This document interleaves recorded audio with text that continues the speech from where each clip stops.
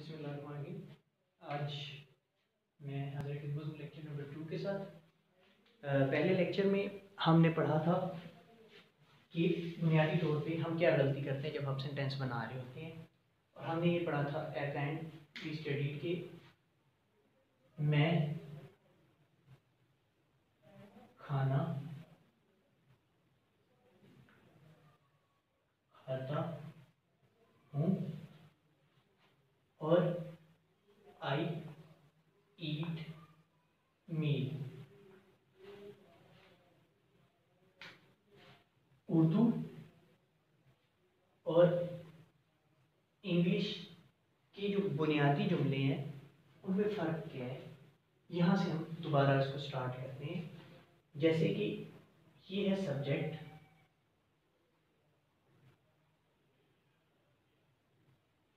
ये है वर्ब और ये है ऑब्जेक्ट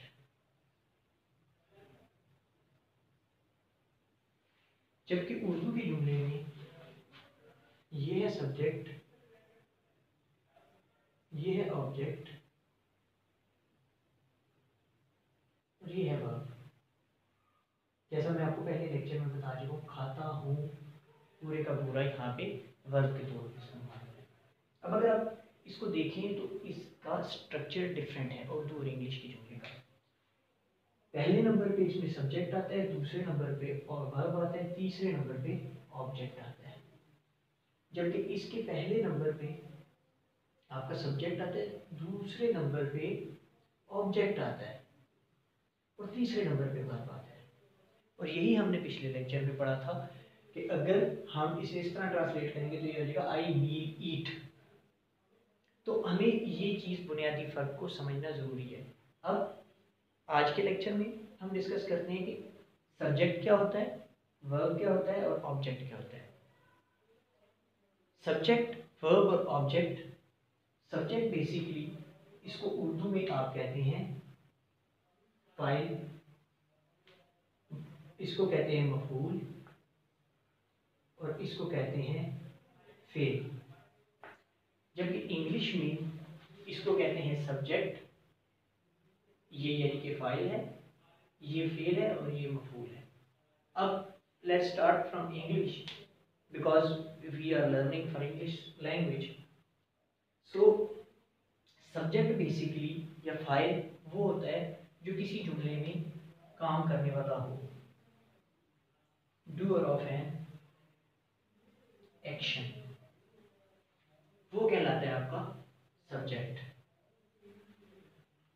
वर्ब आपका एक्शन है. यानी जो काम हो रहा है, उसको आप कहते हैं वर्ब और ऑब्जेक्ट आपका है बेसिकली रिसीवर ऑफ़ एक्शन जैसा कि आप यहाँ देख सकते हैं आई ईट मील खाना कौन खाता है? खाना खाने वाला डूअर ऑफ़ एन एक्शन मैं हूँ। फ़ाइल मैं हूँ। तो सब्जेक्ट हो गया ये क्या क्या काम करते हैं? खाना खाना। खाना खाने को क्या कहते हैं?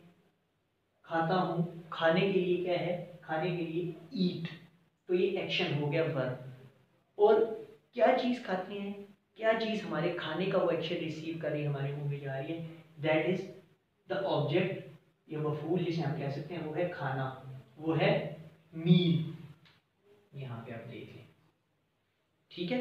इसी तरह एक और मिसाल से आप देख लें, जैसे I write a letter letter लिखने वाला कौन है? मैं।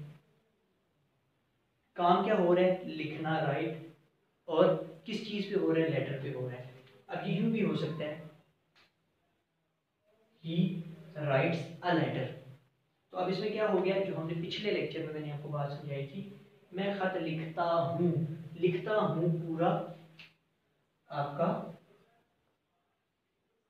is equal to this one